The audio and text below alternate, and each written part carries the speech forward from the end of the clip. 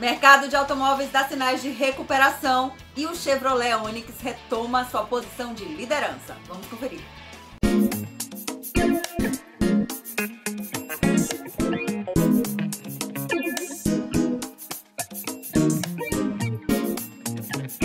Os números oficiais foram divulgados pela ANFAVE, Associação Nacional dos Fabricantes de Veículos Automotores, e a produção de veículos cresceu cerca de 24% em agosto.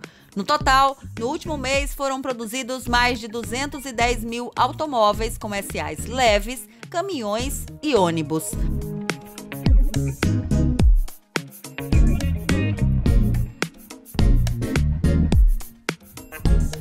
Nos primeiros oito meses do ano, foram produzidos cerca de 1 milhão e 100 mil, o que representa uma queda de quase 45% com relação ao ano passado, resultado da pandemia do coronavírus.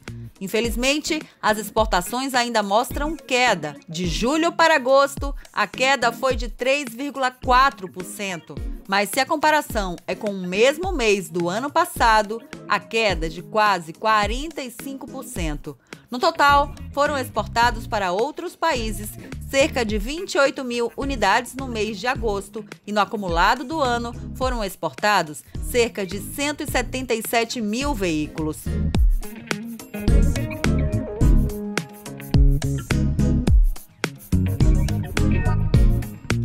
Depois de perder a liderança por apenas um mês nos últimos cinco anos, o Chevrolet Onix voltou ao posto de carro mais vendido do país. O modelo da Chevrolet retomou sua posição de destaque que no mês passado tinha sido do Volkswagen T-Cross, que agora caiu para a quinta posição do ranking.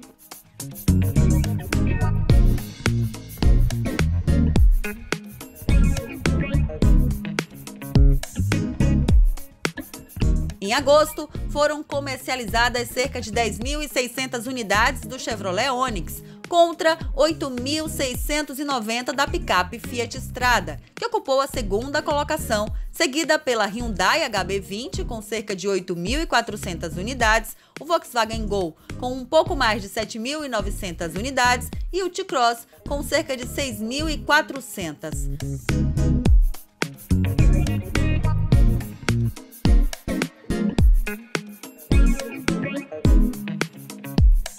Em sexto lugar ficou o Fiat Argo, com um pouco mais de 6 mil unidades comercializadas, e na sequência, a Chevrolet conseguiu emplacar dois modelos, o Onix Plus e o SUV Tracker.